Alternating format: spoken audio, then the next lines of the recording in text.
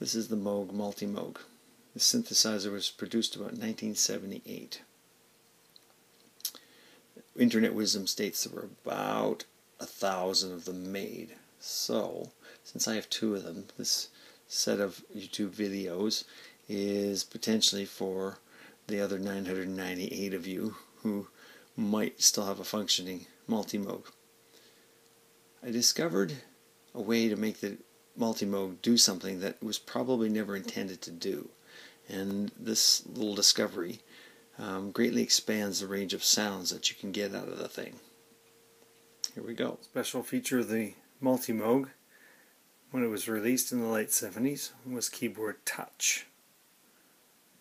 Keyboard pressure could be routed to these destinations and when the force sensor was set to modulation these sources would be applied to these destinations. This is my trick.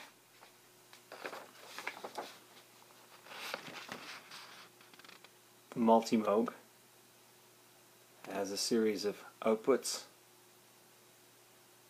and inputs to create what Moog called the open system.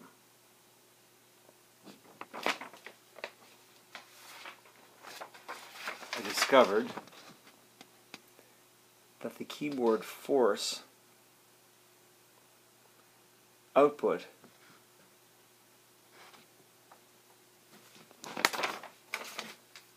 can also act as an input.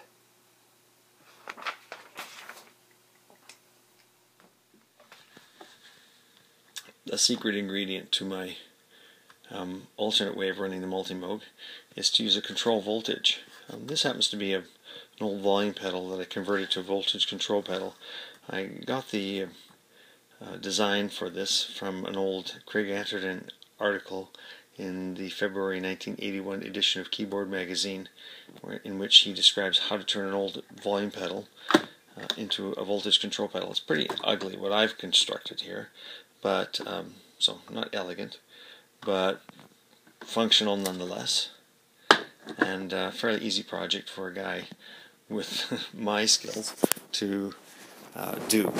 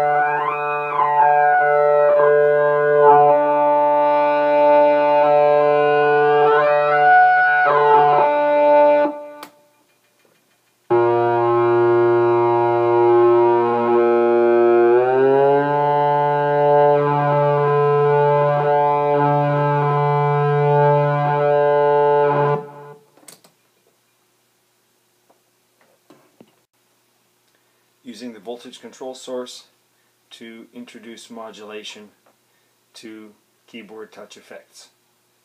Waveforms.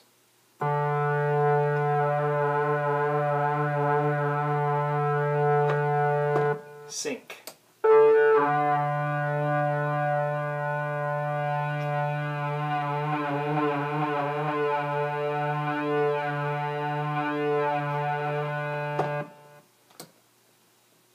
Filter.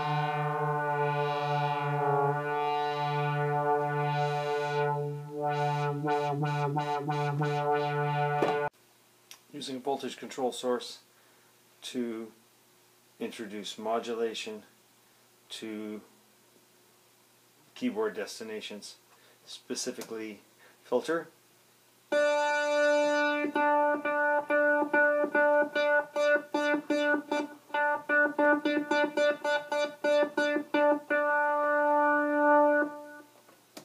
Waveform of oscillator A.